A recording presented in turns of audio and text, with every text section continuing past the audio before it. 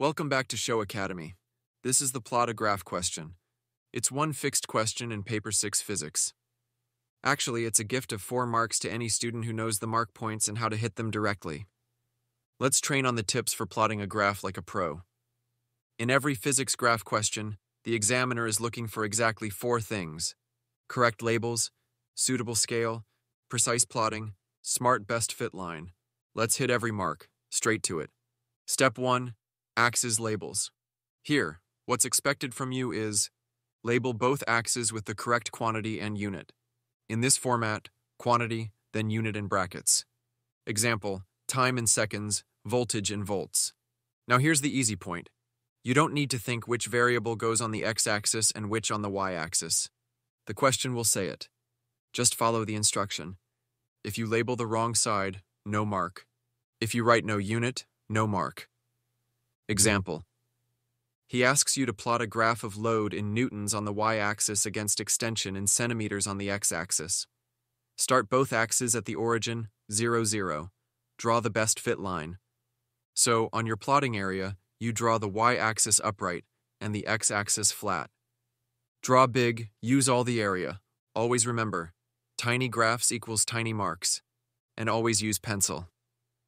Then all you do is drop the labels in units. Load in newtons goes on the y-axis. Extension in centimeters goes on the x-axis. That's it. First mark done. Step 2. Scaling. Use a suitable scale to fit the data properly. How to scale? First, each axis must have its own sensible, consistent scale. Second, the data must be spread out, filling at least half the grid or three large squares. That's your second mark. Third, the scale must use regular intervals, like 1, 2, 5, or 10. Not weird jumps. Now, how do you choose and apply a good scale? Step 1. Look at the range of your data. Find the smallest and largest numbers on each axis. Step 2. Count how many big squares you have on the grid. Each big square equals 10 small squares. Step 3. Divide the range by the number of big squares. That gives you a scale that spreads the data over at least half your axis length. Step 4. Use clean intervals. Avoid strange jumps. Let's practice. Suppose that you were given this data. Extension 0, 2, 5, 7, 8, 10 centimeters. Load 0, 0 0.2, 0 0.4, 0 0.6, 0 0.8, 1 Newton. Now, your x-axis is for extension in centimeters, and your y-axis is for load in newtons. That's already told to you in the question. Let's say the x-axis goes from 0 to 10 centimeters. You count how many big squares you have, for example, 5 big squares. So you can choose a clean scale. One big square equals 2 centimeters. That means one small square equals 0.2 centimeters. Now on the y-axis, your load goes from 0 to 1 newtons. Again, you have 5 big squares, so you pick.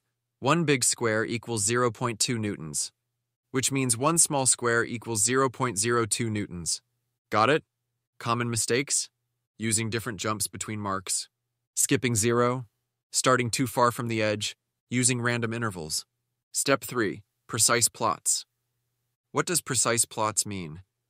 Each point is placed exactly in the right position, within plus or minus half a small square. Let's now plot the first point. Extension equals 2 centimeters. Load equals 0.2 newtons. On the x-axis, 2. On the y-axis, 0.2. Put a tiny cross exactly at that intersection. That's a precise plot. You repeat that for each point. 5 and 0.4, 7 and 0.6, 8 and 0.2, 10 and 1. So these are dots plotted precisely, no estimated dots, no floating somewhere close enough. No fat marks.